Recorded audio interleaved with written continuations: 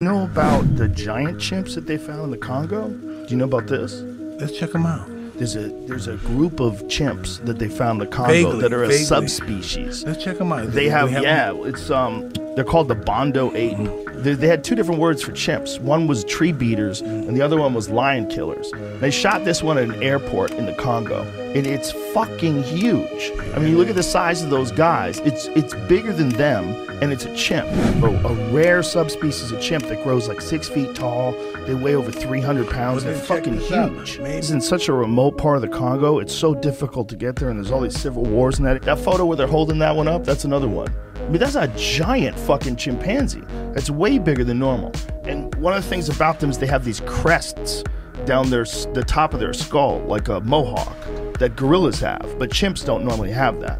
So they're uh, an odd why you call them a subspecies. subs-